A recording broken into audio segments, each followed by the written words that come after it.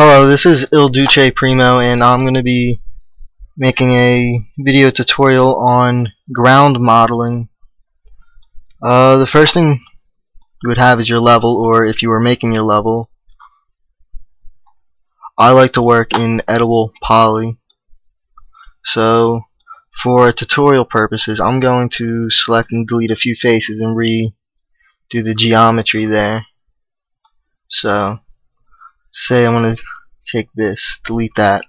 Well, a few nifty tools I commonly use is I'll be selecting an edge and while holding down shift I'll be moving that and that shift drags another whole face and you can manipulate that to create any sorts of shapes or just two new vertices that you can play around with in your geometry you know another common tool I use now if you got a hole or if you didn't have a cliff or anything, but say if you did, you can select that whole area and cap it. Real quickly create, I don't know, a floor for where you're going to sculpt almost.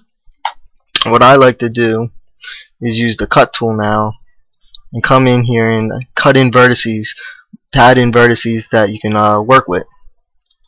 So let's see, put one there, one to there, bring another one here. And you can go crazy with the cut tools depending on how many tris you want.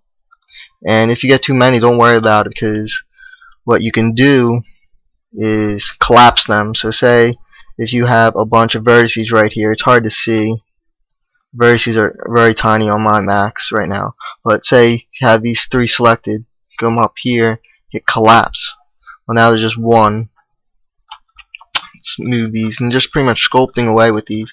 And when you do use the cut tool it does cause some issues. So every once in a while you might want to select all the vertices you've been working with and weld. Sometimes say you had 72 or right now we have 71 it might go down to 69 70 just like there might be a vertice right on top of one and that can cause some problems. So you don't want that. You can create some new edges. If you don't like the shape of an edge you can go in and say backspace these edges here and then just go and create them at the triangulation you want. Let's say we got this triangulation here. We got all these vertices. We can pretty much make this terrain any shape we want. Just move around. That's pretty much the basic uh, way I would do terrain so now if we go over here to this mound and if you reference Blood Gulch I have right in here imported. You can check out their uh, triangulation. And where a mound is they'll add more uh, tris you know? A little more detail add more form. Where it's flat you don't need as many triangles so it's not as detailed. So we're gonna go back to this mound. It's fairly more detailed than other places but still could use some more triangles. So I'm gonna go in here with the cut tool you know, slice it up a bit. Do whatever, do our thing. And basically just moving some vertices around. Add a little more shape, whatever form you want. You can get a little more intricate, add a little niche bump.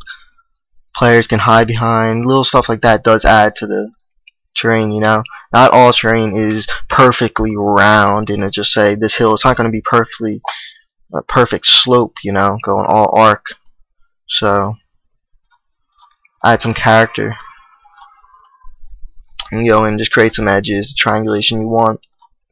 And that's basically it.